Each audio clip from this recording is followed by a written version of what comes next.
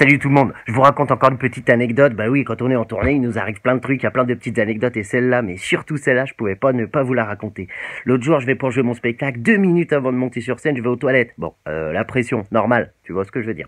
Et les toilettes étaient occupées et il y avait une dame qui attendait son tour. Et la dame, c'était une mamie. Moi, je vais la voir, je vais faire le malin un petit peu, puis je lui dis bonjour madame, vous savez ce que vous venez voir comme spectacle? La dame, elle me répond non, je sais pas, mais bon, ça a pas l'air euh, vraiment terrible, terrible. Et en plus, bon, c'est mon mari qui a voulu venir, hein, qui a insisté. Lui non plus, euh, il m'a dit que ça avait pas l'air terrible, terrible. Mais apparemment, il aime bien l'endroit, donc on est venu quand même. Du coup, elle me demande, et vous, est-ce que vous savez ce que vous venez voir? J'ai dit non, je sais pas trop, on verra bien, c'est la découverte.